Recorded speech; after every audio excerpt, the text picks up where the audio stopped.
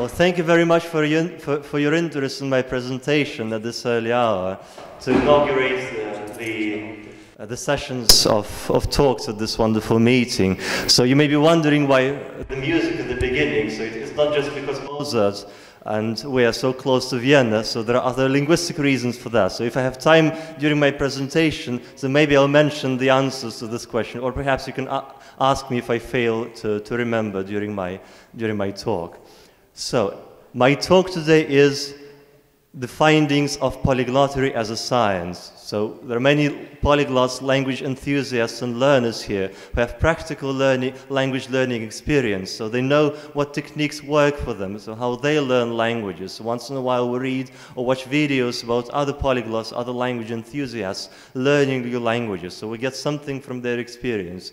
But if we try to look at this a little bit scientifically, linguistically, psycholinguistically, are there any uh, general laws or tendencies that, when, that we can discover in the polyglottery as a science. So this is what I would like to present to you. I've gathered some information, some findings, some observations from polyglot experience, published, uh, shared orally, and so on. From my own humble language learning experience, I've put it together uh, to give sort of a more or less systematic account of what we can now say on the basis of this experience and this knowledge in terms of the general, say, cognitive laws of language learning underlying the processes of language learning. So I'm sure you have something to share on the subject too. So perhaps afterwards, after the presentation, you can correct me perhaps or add something. So you're very welcome. I'm actually interested in learning from you to see how all this correlates with your language learning experience. So what uh, is polyglottery as a science? So first it was proclaimed that polyglottery is a science at a polyglot and probably the first academic conference whose object was polyglottery, the phenomenon of polyglottery. It was in New York 2013. I'll mention this conference afterwards in more detail. But traditionally, throughout history, polyglottery language learning knowing multiple languages been, has been considered a, an art rather than a science. So an art mastered by few. So just like there are masters in arts, in, uh, in drawing and painting and dancing and music and so on, there are masters of language learning. And this is kind of was regarded as a gift, something that cannot be rationally explained. So we just see once in a while people knowing many languages, and that's that's it. That was the perception. But now, with the data accumulated throughout the 20th century in, in psychology, cognitive psychology, psycholinguistics, linguistics, we now have certain scientific basis probably to state that polyglottery can be regarded as a science. So if we look at polyglottery as a science, trying to find the uh, objective laws underlying it, uh, we'll, we'll, probably have to say that its object, every science has to have an, ob an, object, its object is multilingual knowledge. So how it's attained, how it's learned, how it can be used, what it consists in, what it knows, uh, what it means to know multiple languages, and so on. It's a research, it's a science, a research field, a research uh, branch based primarily on psycholinguistics. So psycholinguistics being the science of uh, speech as related to the work of, of brain, to the system of language. Speech production, speech perception as correlated with the system of language. Uh, so as I mentioned, the object is multilingual knowledge. And here the main task in these polyglottal scientific research is to understand uh, the cognitive processes uh, that enable polyglots to achieve their outstanding results. So what is it that's operating in polyglots' minds that helps them reach such outstanding, such distinguished results in language learning as compared, say, with people in regular language education. So what's special there? What's going on there that makes them capable of learning, knowing, speaking many languages?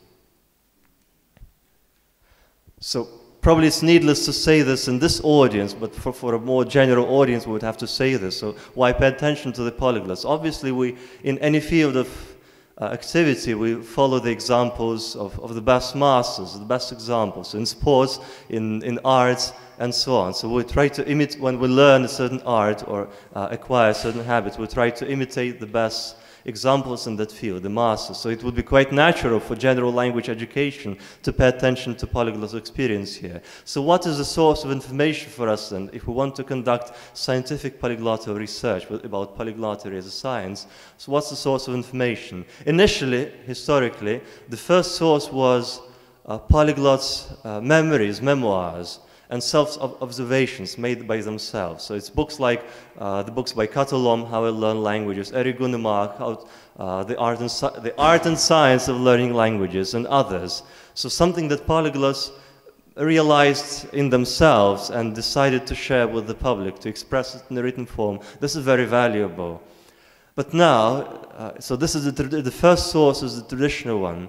The second source is a more recent one, when polyglots became uh, an object of scientific attention, so as an object of study, let's put it so.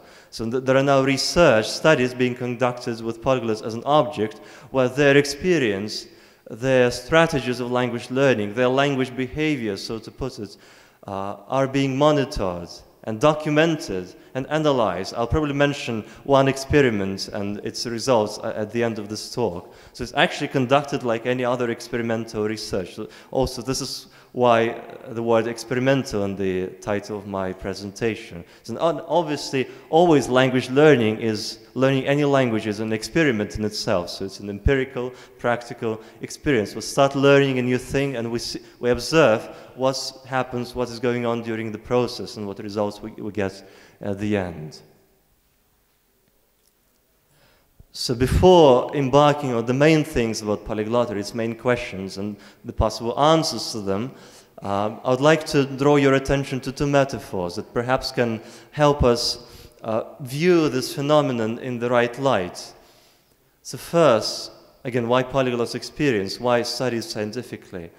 Uh, so first, the metaphor of a view of a road from different heights. So if we walk along a, a certain path, uh, we have a road in front of us, and we see it from, from ground, so we only see it well, for, for 10 meters ahead of us, for 100 meters or 10 of us, right? So our sight, our view of this road, of this path is limited. But if we climb a tree, so we have a, a broader view of the area, if we climb a mountain, we have uh, a clear vision of, of this road, of this path for perhaps kilometers ahead of us. So this is probably can be applied to languages. When we just know one foreign language, just one language or one foreign language, so our vision of the, of the nature of language learning is quite limited by that. So once we know more languages, multiple languages, we probably start feeling that we have a better understanding of this phenomenon, maybe intuitively first, rationally afterwards, if we rationalize this, if we try to, to think it over. So the more languages we know, the better insights we have into the nature of language learning as a psychological and a biological, largely, process. And the second metaphor is that of different laws in, uh, on different say, levels of uh, reality, if we can put it so. So traditionally we know from Newton's mechanics, well, the, the laws of everyday reality, movements, right, speed, and so on, which can be described by Newton's mechanics quite, quite well. Everything that happens to us just in, on the level of our everyday reality, the objects like us, the size we can perceive, and so on. But once we move into the areas, well, 20th century science, 21st century science, like the macro world, the speed of light, Uh, the cosmo mechanics, or the micro world, quantum mechanics, and so on, uh, we find, and well, scientists will tell us, that the language that we use to describe everyday reality actually is not applicable to describe the phenomenon going on there. If we try to use our ordinary language to describe the processes going on there in, on the quantum uh, level, we'll find that it's just irrational. We can see that the same element is here and there in two positions at the same time. So in terms of our language, it's not appropriate to describe it. So if we, if we start doing this, we, we have to admit that it's different law operating on these different levels. So again, probably this can be applied to languages. So if it's just one, the level of our everyday reality, one, uh, our mother tongue, or one foreign language, uh, is, is one set of laws going on there. So how we can describe it, understand the processes uh, taking place in us, with us, with regard to language. If it's multiple languages, we're, the, we're sort of on a different level. We have, we have a deeper insight into the, into the underlying nature of language learning, and thus we can observe different laws which are not visible from the point of view of everyday language practice with one or two languages.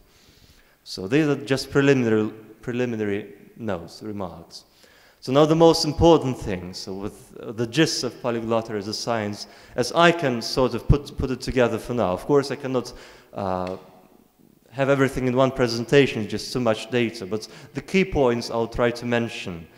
So the main questions, the key questions of polyglottery. So what does it study? What does it pursue to find out? Which questions does it uh, pursue to answer? So first, what is a polyglot? What's the criterion here? Is it a number of languages? How many? Although this is the tricky question. I'll, uh, I'll uh, ponder on this a little bit uh, a little afterwards. So how, how many languages can one physically know? Is there any limit, objectively, biologically, psychologically? A limit to the number of languages we can, that we can actually learn, whatever techniques, whatever strategies we use, whatever gifts for, for, for language learning we have. So how, what does it actually mean to know a language? When do we count that a certain language is known by a certain person. So how do we know that I know this language, he knows that language? What does it mean? Does it mean to speak it or to read it, at what level, and so on? So how can this be qualified? Is there any objective criterion or objective criteria for that to describe language knowledge? Again, the object of polyglottery is a science of multilingual knowledge. Is there any objective measure for language expertise, for language knowledge? So obviously the practical questions, how can language uh, languages be learned more efficiently? How can they be acquired more efficiently? How are languages naturally assimilated in situations of, of polyglossia? That is when multiple languages are used naturally, simultaneously in, in a certain country, in a certain area, like in India and many, many parts of the world. Actually, most of the people in the world are not monolinguals, but multilinguals or bilinguals. So monolingualism is uh, kind of a feature of big countries that's, that's the result of language policy. And in, in the light of all this, how can language knowledge be applied? So if, if we know many languages, what can we do with those languages, apart from just enjoying learning them and reading literature, perhaps speaking to people? Are there any socially significant applications uh, for multiple language expertise? And obviously, how can la language education, general mass language education, be improved in the light of all this? Because it seems to be not very efficient in most countries of the world. The only exception being uh, the Central European countries like Germany, Scandinavia, Netherlands, and so on. This is very, very interesting. Most, the rest of the world seems to be quite, well, bad in terms of official language instruction at schools, universities. So Central Europe and Scandinavia is, uh, has an exception, interestingly. So now I'll try to, to, to, provide some possible answers from, from what we know from polyglot experience, from observations, what can be said about this objectively.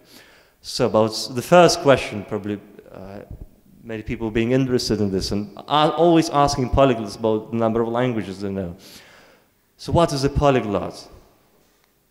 If we ask different people, and actually it's been written in those memories of polyglots, all, they all have different uh, ideas of what, it would, what, well, what would count for a person to, to be regarded as a polyglot. So Gunnar says you have to know at least some languages to be counted as a polyglot. Spivak says, oh no, anyone who just starts learning any other languages is already polyglot, and so on. There are very different uh, ideas in that. No uh, uh congruence in this, uh, in this question. And probably if we try to see it objectively, we'll have to say that it's more a question of, it's, it's more of a psychological thing than about the number of languages that one has to know. Especially we being probably unable now to say objectively what it means to know a language, to set one objective criterion for that. So still, if we had to stick to a certain number of languages, the only objectively based number is number six. So why six? Because the number of languages spoken and assimilated naturally in situations of polyglossia as I mentioned, when many lang several languages are used in a certain area in a certain country naturally, without people learning them, studying them consciously at school or wherever. Well, some, like in India, so people would speak the language of their village, of their state, then hint in English and perhaps some other language. So these situations of natural polyglossia, they don't exceed five languages.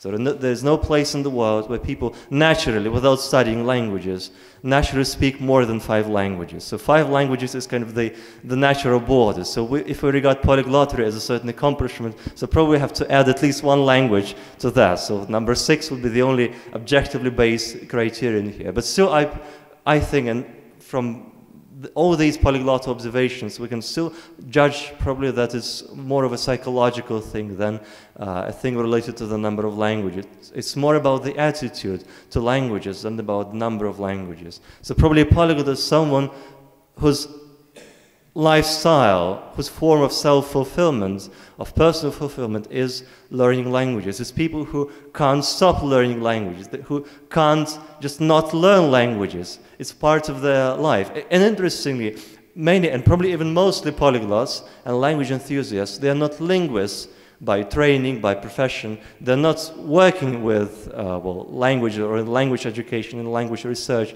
profession. They have all kinds of different professions, and la just languages is part of their lifestyles. It's their interest, it's their hobby, maybe probably more than that. But we should probably describe it in these terms. Yeah. So how many languages can one know? That's another interesting question if we try to find an answer to, these, to this question in our body, in our brain, we actually can't find any reasons for to say there are any limitations to the number of languages one can learn. So if we measure the uh, the volume of memory or something like that, there, there's no indication that there is any limit to the number of languages a person can learn. No, there's nothing indicating to us that, it's, uh, that our capabilities here are limited. The only physical limitation is just the, li uh, the, the, lifetime, the time of our life. It's just language learning takes time and it's impossible. And with the, uh, with the number of years we have for, for, our life, it's just impossible to learn all the 6,000 languages of the world and not even probably uh, a, a tenth of it. So that's the only physical restriction here. But interesting, from experimental observations, from interviewing polyglots, it's been observed by Gunnemark, by Spivak, initially, uh, that all those polyglots, they say they cannot, they do not speak or they, know, they do, not, do not know fluently, so to say, completely, uh, more than seven languages. Actually, more precisely, from five to nine languages, but on average, seven languages. So people can know dozens of languages, but that would be to, still to a different extent.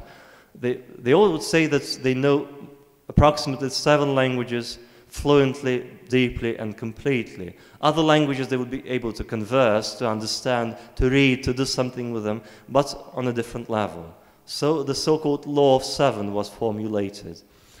So why this law of seven? So again, this has been drawn, this conclusion has been drawn from empirical data, from uh, practical experience. How can we explain this?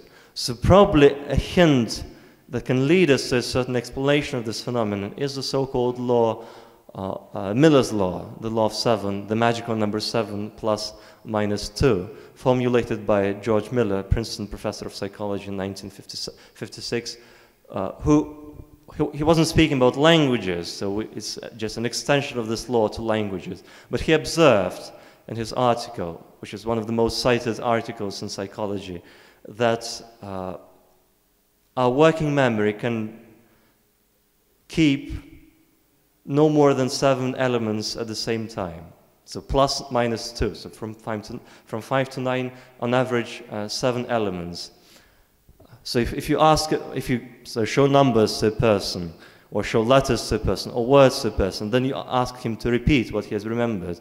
An average, on average, people would, would remember seven objects, seven elements. So from, from five to nine maximum, was on average seven. So we still, there's no kind of complete explanation of, of this phenomenon. Why is it so? So why is it just seven units that our working memory can, can maintain at the same time? But if we extend this law to languages, then it seems to correlate with this observed phenomenon uh, of the law of the seven. If we consider languages as kind of units of information, uh, that our working memory has to keep simultaneously, then it kind of starts to make sense in the light of the, of the Miller's law. But this still needs further explanation and, and deeper insight. So that's an interesting direction for research. Now, so the more practical questions, how, language, how are languages learned and how in this light can this process be made more efficient? So the nature of language learning as such. We're not speaking about individual techniques, individual strategies of particular polyglots, but rather about, uh, again, the general observations that we can make generalizing particular experience of certain polyglots. Now, the main law, the so-called main law in inverted commas, we can put it so, seems to be that the level of language, of knowing a language, is directly proportional to the amount of input, or in different words, to the number of texts processed by our brain. Well, text here understood generally, more broadly, text meaning oral text, video text, video recordings, uh, audio recordings, written text, printed text, conversations, any language material, right? To the amount of language material, to the models of speech our brain has processed. So actually, it can be counted in the number of words. There's been an observation that one needs uh, to read about one million words to, to, acquire enough vocabulary for a functional command of a language. It doesn't mean new words, obviously. There are, no, there are not so many words in, in any language, but of, of course, repeated words. Just reading text amounting, uh, numbering some, something about one million words. We have just to process it through our brain. So the brain, the brain can crystallize and generalize from this, it can crystallize from this the repeated words, the repeated models of expression, language, grammatical structures, uh, patterns of speech, and then use it functionally. Also, there's a formula of language learning, initially proposed by Kató Lomb in her famous book, How I Learn Languages, but I sort of adjust this formula a little bit in the light of the main law. So she says that, well, the formula of, of language learning, that the success, the amount of success in, language, in learning a certain language is uh, the level of motivation or interest kind of being enthusiastic about your language learning, divided by the level of discomfort. So the fear, the negative emotions that you feel about this language or about the situation, the classroom, the process of language learning, your language teacher, and so on. So this kind of correlation results in, in your, uh, well, the level of your success with the, learn with the uh, process of uh, learning a certain language. But I will slightly adjust this formula in the light of the main law, saying that it's uh, not just motivation divided by discomfort, but motivation multiplied by the number of texts. You can be very enthusiastic, but if you have only three words uh, as, a, as, a, sample of a language you want to learn, you cannot actually learn much from that. You need a lot of language material to process, to, to assimilate the language. Also, from, again, from practical experience, uh, certain principles of accelerated language learning have been formulated the, it's all expressed in, in, the written form. There are articles on that. So if you want some details on any things that I mention now, so I can give you links and uh, directions with regard to particular publications where you can find this. So the principles of accelerated language learning, well, actually number is something like five. One, the first one being the natural principle, actually meaning that we have to learn languages in a way that is natural, brain compatible, natural for our brain. So not going against it, but uh, along the natural path of our brain work. So the main thing here being that listening should come first, not reading, not something else, but listen first, then speaking, then reading and writing. This is the natural sequence of activities. And there should be a lot of audio inputs, a lot of listening input. Actually, ears, this is crucial, this is very important. That's actually a topic for a, for a whole different talk, for a whole different research. The, the uh, the role of uh, hearing and listening in, in language learning. This is actually primary. Then parallel text, positive emotions, self-sufficiency of textbooks and so on. This is all about the principles of accelerated language learning. But that's again, that's a different topic. I, I'm afraid I can't stop on this now.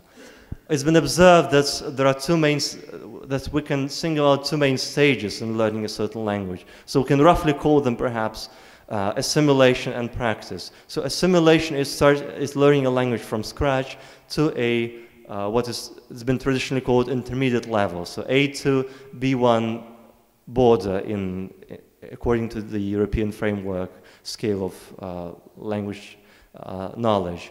So it means assimilating the basic structures of, of speech, catering for the major needs of communication. So when we learn, when we actually assimilate the structures for uh, expressing desires, negation, uh, will, hesitation, and so on, different, it's actually, well, probably um, numbering to several dozen uh, several dozens of those expressions in any language. And it takes several months. So this, uh, this stage takes several months. And then after this practice begins, when we, we, when we actually learn now synonymical ways of expression to the things we actually already know. We know how to say, I want, but we learn, I would like to, could you possibly, and, and so on. Different nuances of style, register, emotion, uh, evaluation, and so on. So this is the, the uh, stage of practice, which is actually most about expanding our vocabulary. And interestingly, uh, there is a change in the, say, speed of language acquisition uh, once these stages kind of switch, when you, once you switch from one stage to the next one. Uh, so, and this is, can be called, so to say, the logarithmic character, logarithmicity, because in the kind of geometrically it can be expressed in the form of uh, logarithmic progression. So uh, initially, when you just start learning a language, you can learn a lot in a relatively short time. So you, you just learn by hours. Every hour, every day, you just learn. You feel that you, you incorporate, it, you learn, you internalize a lot of those language structures. But once you cross the, the border of those two stages, uh, it becomes more difficult. So every new bit of kind of language knowledge takes more time and more effort than it did in the previous stage. So it slows down. So kind of you see, so the vertical axis here is the level of language knowledge, and the horizontal one time. So with time, it slows down. So to get higher, you have to to put to put in more effort. Also, the so-called hierarchy of learning materials or the autodidactic pyramid has been formulated, has been observed uh, from practical experience of language learning. That video is on the top of this pyramid, then go audio recordings, and then finally printed text. So it means that video provides us most information because we not only see the words, but we have the intonation, pronunciation, visual context, gestures, and so on. So audio input still gives us, gives, gives us a loss, both the, the language itself as speech and also pronunciation, intonation, prosody, and so on. But in the printed text, we only see this, basically the, the, just the, the, the sentences. We, we we don't have access to the uh, other aspects of language. So it's very important to have enough video and audio input when learning a language, not only uh, restrict yourselves to, to printed text. So how long does it take uh, language learning? Here are some observations that can be made with regard to this. This is experimental. So 100 hours. There's been an experiment with Alexander Arguelles. Uh, I, I, don't have time to explain this experiment right now, but I can just tell it to you afterwards or give you a, a link to the article where this is explained. Uh, from which experience has been observed that 100, 100 hours of everyday systematic study with a spe special re reviewing structure is enough to attain a functional command in the language. So functional command is again uh, A2, B1 border, something around, uh, around that. So it's actually experimentally been proved. It's printed in uh, psycholinguistic journals and academic articles. It's been proved, experimentally shown, demonstrated that 100 hours is enough. Of course, it doesn't make you uh, a simultaneous interpreter in that language, but functional command with regard to needs of communication, to be able to speak, understand, read and write more or less in, in general situations, it's enough. On the other hand, the other extreme of this uh, time investment, time range uh, span is 10,000 hours. That's something that's been formulated by Alexander Arguelles in his paper in, in this journal, the, the, the proceedings of the 2013 probably first academic conference on polyglottery in New York, where he read the keynote speech. Uh, that he says you have to put in something about one, uh, 10,000 hours into learning multiple languages to reach this level of polyglottery. So that's his, uh, his observation. And it, it would be interesting to compare this, to contrast this with the natural, say, need for 20,000 hours. That's the, the amount of time that a baby listens from his birth to his mother tongue around him before he can actually speak and use this language. So it takes, so I think I've recounted this in, in, in terms of years, and in terms of years is about two years or a year and a half perhaps when a baby starts speaking language because he listens to that language, hears it every day non-stop for 20,000 hours, day after day, month after month.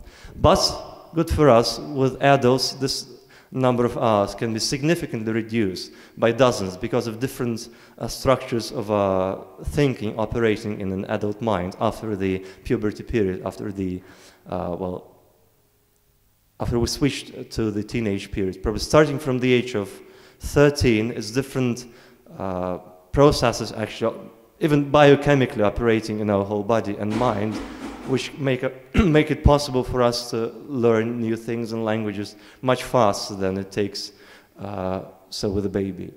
So this is just, uh, I'm, I'm probably I, I, don't have time to, to stop on that to explain to you the details of that conference. Uh, so because this is kind of our more of a social gathering, that was uh, not the conference of, some, of polyglots so much as of a conference of linguists studying polyglottery as, a, as an academic, as a scientific, psychological, psycholinguistic phenomenon. It's very interesting. Uh, so there's proceedings uh, printed, so if, if, you want to get a copy of it, I'll tell you uh, who, who, to ask. I just have one with me to, to show to anyone interested. Just three observations from the uh, sort of decisions or observations from that conference, that, or statements made by that conference four years ago. So first, it's been observed that there is just counterproductive juxtaposition between practical language learners, practical language expertise, foreign language expertise with modern languages, and academic linguistics on the other hand. Unfortunately, even this rivalry is present in academia in the form of different departments and so on. So there's different attitudes, sometimes negative ones. That say official academic linguists sometimes don't really know foreign languages strangely enough. And on the other hand, practical language learners often kind of disregard uh, linguistic theories, which the whole thing seems to be counterproductive because this is just two, two sides of the same uh, coin. It would be only natural that multiple lang practical language knowledge would, would give you material for academic linguistic observations and vice versa. Also, it's been noted that we'll probably have to shift from the language teaching paradigm to language learning paradigms. All polyglots admit that polyglottic or language learning is always an autodidactic enterprise. So you can create conditions for your, for your pupils, for your students to, to learn, motivate them, you can consult them, but actually it's the process that takes place in the brain of each individual when he or she incorporates, internalizes the language. So probably we have to stress the role of self-study in language education. And finally, the, the conference, so to say, imposed a ban, proclaimed a ban on the question, how many languages do you know? Probably because all polyglots got fed up with this. Uh, but actually, scientifically, it's not very uh, objective and productive because when you say 100 languages or 20 languages, it actually doesn't mean anything because a person would know those languages at different levels and can do different things with those different languages. One, like some languages they can speak, other languages they can read, and so on. So it's more objective, more productive to ask which languages, not about the number, but the particular languages. So which languages you can speak or read, or how do you learn languages? So these uh, questions were recommended by the conference as more productive ones. Yeah, I guess that's it uh, for now, something I wanted to share with you.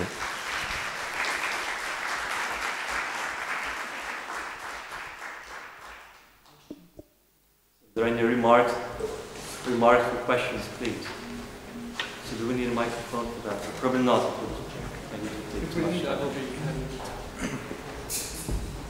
Okay. Thank you. It was very interesting. Uh, You said very little about the difference between active and passive. Sorry, sorry, sorry.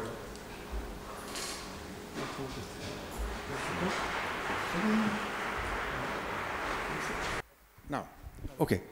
You have spoken a lot about uh, competence, but uh, you don't speak much about the difference between passive and active uh, skills.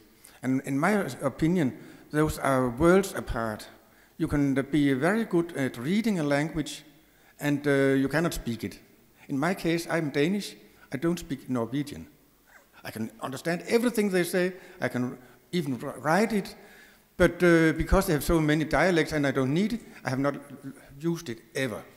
Another little thing about that, you have a nice smooth curve about learning. In my opinion, the active learning is much more in stages. Uh, you accumu accumulate things when you learn passively, but you learn by explosions yes. or epiphanies when you, when, when you learn actively. Uh, yes, indeed. I just didn't have time to mention everything. I completely agree. It's very different things to know languages passively, actively. And also from those observations, it's been observed that uh, there are two types of polyglots. Speaking polyglots, chattering polyglots, and reading polyglots. For example, Alexander Arguelles, besides the fact that he is perfectly fluent in his multiple languages, he's obviously a reading polyglot. He learns languages for reading purposes. He says, my purpose is to read great literature in all those languages. So other polyglots, especially younger ones like Tim Doner and others on the internet, they're more chattering polyglots. When they start, they start learning languages, they seek for people on the internet to speak to them, to practice oral skills. Indeed, this is very important. So probably some classifications of polyglots can be uh, drawn from this.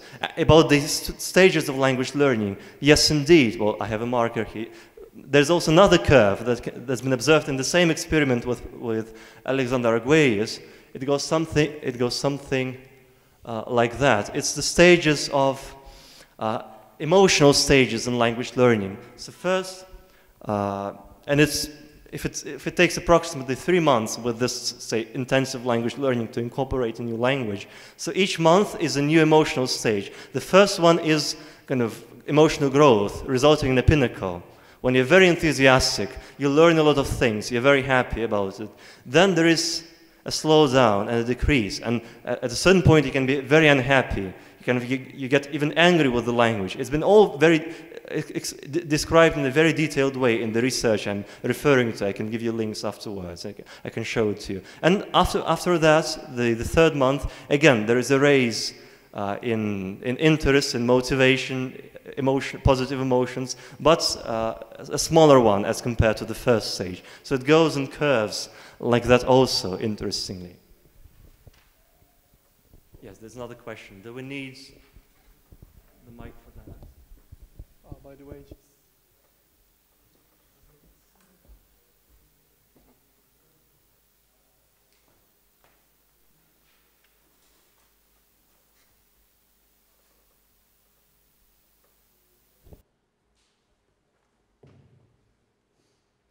Uh, you've been talking like maintaining fluency uh, languages.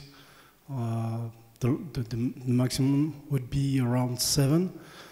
Um, what is your uh, feeling about people like Kató Lomb, Krebs? Uh, do they really uh, were limited to seven languages fluently, or do they were able to, to speak more than that? And what is your feeling if it, the answer is yes? Is it something different as a process going on in, uh, in the brain with those people? Yes, I see. Yes, indeed. I think they knew all those multiple languages at different levels. So it's been actually observed from the experience of those polyglots also, from the polyglots of the past. So it can be claimed that they knew, well, 50 languages or something like that. So Kató Lomb, she was learning her 18th language, Hebrew, when she died. Uh, so Krebs, that's one thing that yes, indeed, it's, it's stated that seven languages, it's not the number, the whole number of languages you can know, but the number of languages you can know completely and fluently. So other languages, you would know them at, uh, at a lower level, basically. So you cannot, physically, it's now stated you cannot know more than nine languages, so, so to say, completely. If, if, one says, I know 50 languages perfectly fluently, probably it shouldn't be trusted. So pr probably it, it, has to be differentiated here. And also a, a, different observation here that in the past, the criteria of language knowledge was, were different. So now we're in the oral sort of stage of communication. So to, to know language largely means to us to be able to speak in this language to many people. In the past, in the 19th century, like with Mezzofanti, for example, uh, the criterion of knowing language was to be able to read and understand the text. He was, perhaps he was able to converse, to have a small conversation in those multiple languages, but it wasn't kind of complete language communication in that language. He was just having a small talk with those visitors coming, going through, uh, what was it, Bologna or Florence, I forgot, with Mezzofanti. So the criterion was also different. When people in the 19th century, early 20th century said, well, this person knew 70 languages, it can just mean different things by modern standards. By modern standards, it would be, again, passively, they could know maybe 45 languages, but actively they knew, and fluently they knew maybe five. This is the difference. Yeah. So one last question? The last quick question. So uh, I just wanted to share my own personal experience. You mentioned something about um, how in academia often languages aren't taught very well. And I think it, part of the reason is because languages are very physical. They're less like an academic thing and more like sport or music. You have to achieve like a degree of automation a uh, and uh, and I've noticed personally for myself, you know, if I study something so intensely, um, you know, it stays there for a while, but once I stop, it just starts degrading, degrading, especially with the Japanese language. It degrades so fast. And, uh, yeah. Okay, th that was it. just yeah, I agree. So practical language knowledge is a habit, is a skill, just like sports, martial arts, playing musical instruments, dancing. You, you need a lot of repetition to incorporate the, the habits if we speak about practical language teaching, of course, studying languages academically, language structures, language history, is a completely different thing. Yeah, so we have to close out at this stage. Well, thank you very much for your interest, for your questions. If you have So if you'd like to continue discussing something personally, I'll be very happy.